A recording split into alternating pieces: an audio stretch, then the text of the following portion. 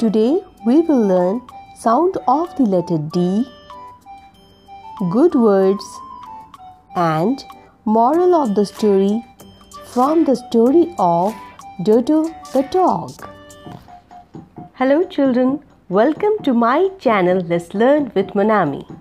Hello Monami. Hello teacher. Hello friends. Get ready to learn about the 26 letters in the English alphabet. Today we will learn about letter D. So let's start.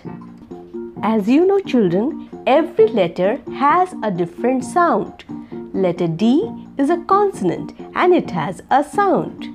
To make you understand it better, here is the story of Doedoe the dog. Doedoe the dog was walking near the door to guard the house.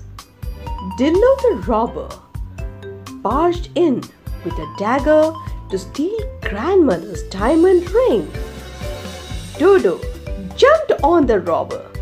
Dillo was so scared that he dropped his dagger and started stammering. Da da da dog!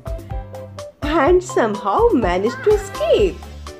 Grandmother was very pleased and baked a special donut for Doedoe.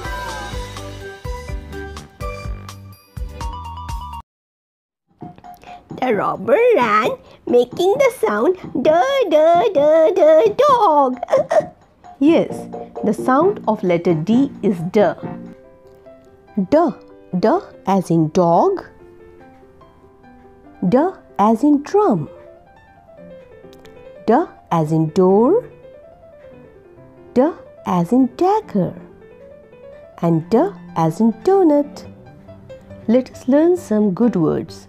Guard, who protects a place or people. Barged, to enter forcefully. Scared, frightened, the little girl was scared of the insect escape to run away. The thief escaped from the jail. Now let us understand the moral of the story. Have you seen children how Doedoe the dog scared the robber away? Doedoe was brave and courageous. To be courageous means not to be afraid and to stand up against wrong. To be courageous means to do the right thing in difficult situations. As quoted by the famous author A. A. Milne, you are braver than you believe, stronger than you seem, and smarter than you think.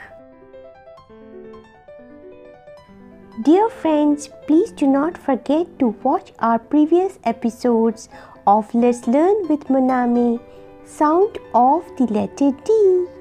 Thank you. Please do not forget to like, subscribe and share our channel. See you in our next class. Till then, bye. Bye friends.